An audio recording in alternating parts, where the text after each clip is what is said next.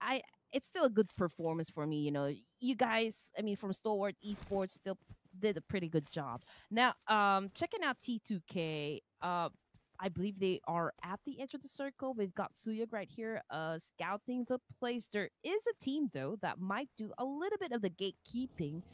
Um, but T2K, they know the drill. They know what to do, and probably they're now communicating on how to approach this one. But not a good spot for Igneous to actually be caught sleeping there. But Quan getting some damage as well, and that was a good spot or good spot from Escalera.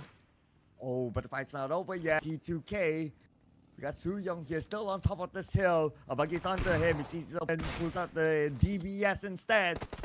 That's going up against Joseph for Team Flash, but the moment he's out Batman.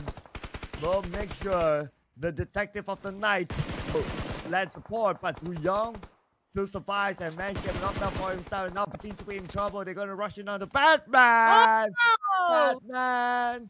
Batman. Batman.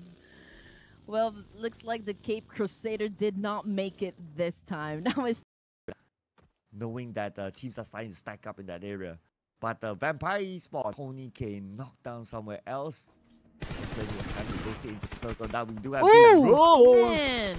We don't want to take down 6663, who it is for Vampire Esports.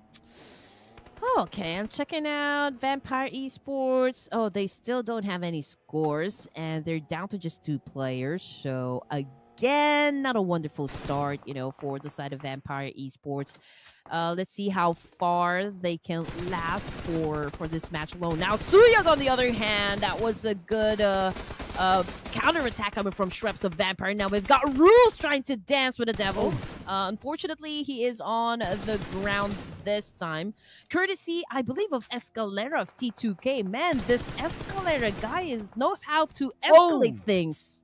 Wow, and look at that escalated to the point that Vampire Esports eliminated T2K. Though they to your but Rulz will be able to, see, to be saved by Escalera. And they already got four elimination points, opening up their account at this round.